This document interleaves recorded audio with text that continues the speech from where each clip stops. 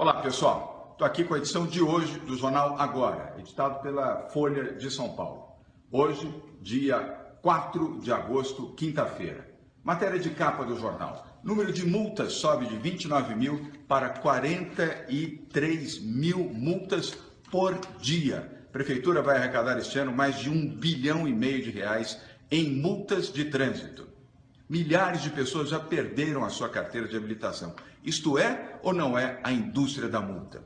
Não é para defender o seu interesse, não é para proteger as famílias de São Paulo de acidentes de trânsito, é para gerar arrecadação para a Prefeitura de São Paulo. Senão, teríamos tido campanhas educativas, sinalização progressiva, guardas de trânsito orientando e não multando as pessoas. Comigo vai ser diferente e vai acabar a indústria da multa em São Paulo.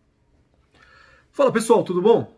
Deputado estadual Gil Diniz aqui da Assembleia Legislativa do Estado de São Paulo e passando aqui para mostrar para você, povo de São Paulo e povo brasileiro, o que o governador de São Paulo tem feito agora é, com o decreto de calamidade pública aprovada por essa casa aqui, com o meu voto contrário.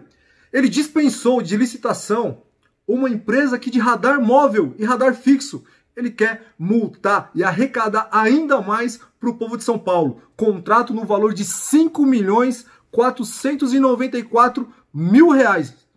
Mais de 5 milhões de reais para contratar empresa. E vejam só vocês, usando o decreto de calamidade pública para ir contra até mesmo a lei 8666, porque no seu artigo 24 a lei é clara. A dispensa de licitação se dá pelo serviço, para ser prestado o serviço, da calamidade pública. Sei lá, para contratar é, respiradores, leito hospitalar, para comprar máscara, álcool gel, luva. Não, ele dispensou de licitação por seis meses uma empresa de radar móvel, pagando nesse contrato mais de 5 milhões e 400 mil reais. É simplesmente absurdo. E justamente por isso que nós votamos contrário à, à lei, né, ao decreto de calamidade pública, proposto aí pelo governador João Dória. Então me digam vocês se isso aqui é justo e se radar móvel é serviço essencial para o povo de São Paulo gastar mais de 5 milhões de reais no momento que nós precisamos desses recursos justamente para comprar respirador, para colocar leito de UTI.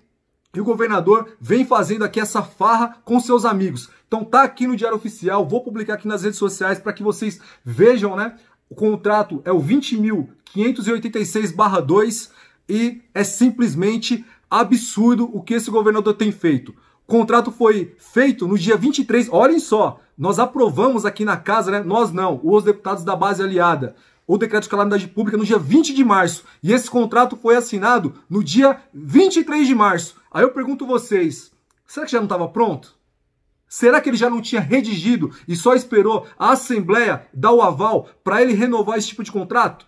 Então é o nosso trabalho aqui na Assembleia Legislativa fiscalizar o Poder Executivo, fiscalizar o governador e os seus secretários. Um forte abraço a todos e fiquem com Deus. E fora Dória!